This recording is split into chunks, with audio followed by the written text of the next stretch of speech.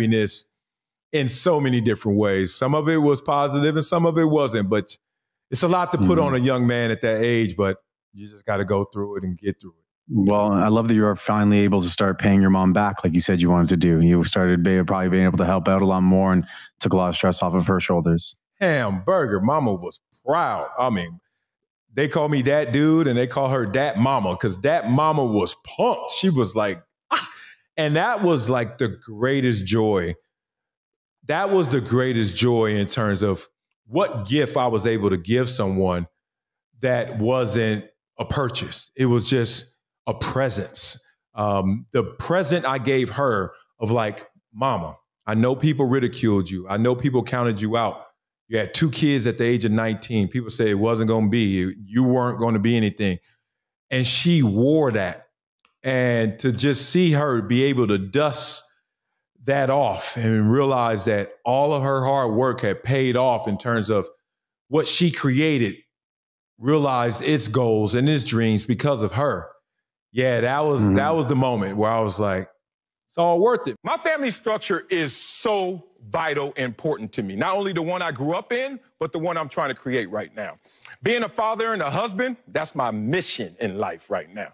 Emotional bag for me because I feel for her because of just what's happened, not just in the last couple of weeks from the Olympic trials, but the highs and lows. Mm-hmm. Uh, when you talk about that disparity, that's when you really have issue in life. It's uh, what they say it's better not to have than to have and lost. Mm-hmm.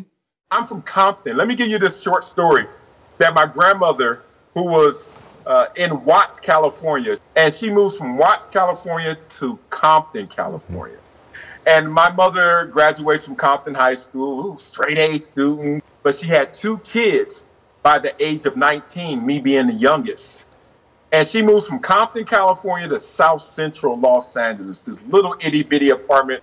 And my parents were there to just support me, encourage me, and navigate me through all the ills that we had seen in our own family, let alone in our community.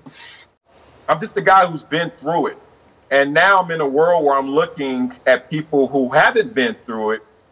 And therefore, it kind of shows in their rhetoric. The Migos had a song, Walk It Like You Talk It. and I say, I think they got that song wrong, even though I love that song. It should be Talk It Like You Walk It. Wow. And I hope the world takes notice. Hello. Oh, too much truth. Hello. Too much truth. This. I cannot handle all this truth you telling me right now. Wrong number. Got him.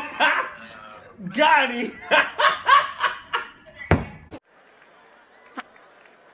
hey guys, it's Jose, your regular Joe Blow again, keeping an eye out and my ears open to talent and outstanding, moral, sane, and prudent, real people who come to you on a consistent basis, time and time again you hear and see this, gentlemen, and you see a genuine spirit who talks truth, no matter how strong it sounds. This is needed in our current times. Guys, keep exercising your rights to freely speak and expressing your opinion, no matter what side you're on. God bless. Sir, full salute, and thank you guys for your continued support. Thank you, thank you, thank you.